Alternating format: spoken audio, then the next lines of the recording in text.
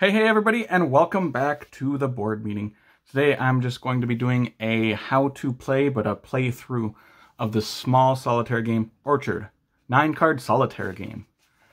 And all that comes in the box is these assortment of dice, a couple rotten fruit tokens, and 18 cards. The setup is very simple. You shuffle these cards and deal yourself nine cards. Take these cards, put the rest to the side. You could play back-to-back -back games and use that pile of cards if you would like. Now, just flip over your top card, and that is our starting tree fruit card, I suppose. And now you can deal yourself two cards that we have to choose from to lay on here. And our goal in this game is to lay these cards overlapping some way on other cards. You want to match the fruit of the right type on top of each other. So red on red, yellow on yellow, and you can rotate this card any way you want. But when you lay it, it has to go on at least one other fruit token. So, it's a very fast game. Let's just go right through it quick. So, I'd want to put, maybe want to use this card. I could overlap these two red with these red. Put it on there like so.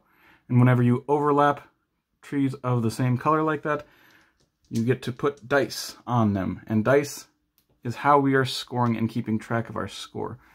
So they start out as ones. If we would overlap these again, they turn to threes. Overlap again, they turn to sixes. Overlap them again, they would turn to tens. Tens very good. I don't get to tens very often because I'm not very good at this game. As soon as you play a card, you draw a card. So we're going to kind of go the no-brain game. I'm just going to go through this fast, but I'm going to put this red and yellow over top of each other. Just take the dice off. This turns to a 3 now, and the yellow gets a 1. Let's draw another card. Put these to the side.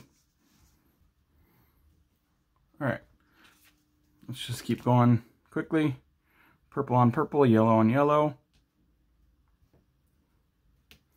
Draw a new card. Let's put this one on top of here. The two reds, the yellow and the purple match.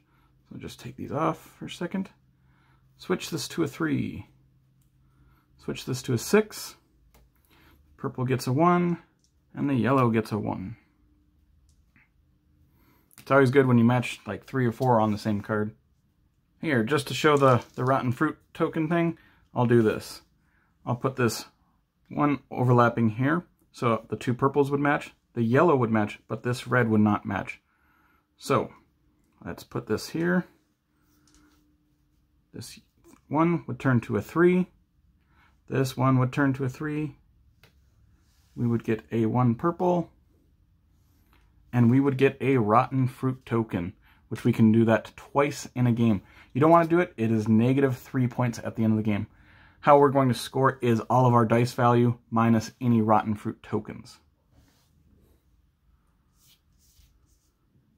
All right, there we go. Here's one that will match four of them. put the purples on top, the yellows on top. So this one becomes a three. This three becomes a six. We get a red one and a yellow one. And draw. And now we're down to our last two cards. It's a very, very fast game. All right, let's put this over here. Oh, that won't match.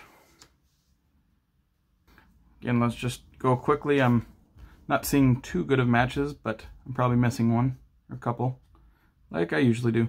Let's just overlap these. So purple and a yellow. And we are out of yellow uh, dice, so if we would have to take another yellow dice, we just don't get to. Um, let's see if we can place our last card somewhere.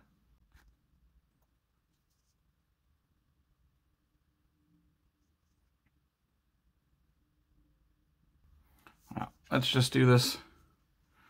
Overlap all of these. Turn that to a 3. The red gets a 1. And we don't have a yellow. So we just don't get to place a dice for that.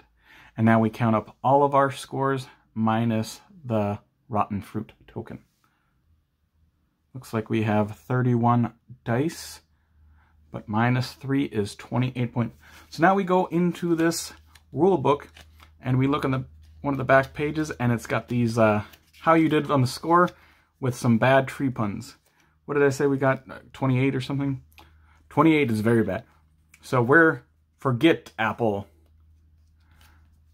But I'm I usually score around 30, somewhere around there, so it's not much different than usual. Uh, but it's very fast, very, very simple game. I have enjoyed it a lot lately. But that is uh, how to play Orchard. Thanks for watching, everyone, and take care.